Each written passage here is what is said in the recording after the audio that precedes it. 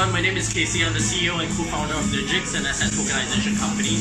Now today we're just trying to run an experiment. This uh, specific restaurant in Singapore is accepting our gold token, as a form of payment for our dinner. Right, so this is our first time testing it out and we'll see how it goes. They have a, a, a point of sale system, um, so all you have to do is scan the uh, QR code.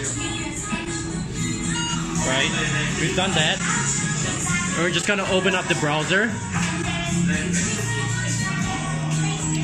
And there you go, I have access to my wallet. It has uh, 20 DGX at the moment in there.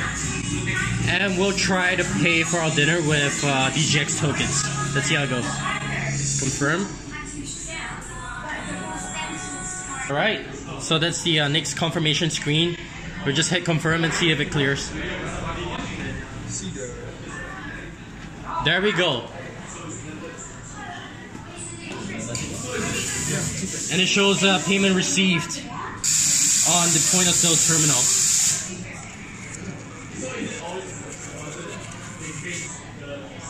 And there we go.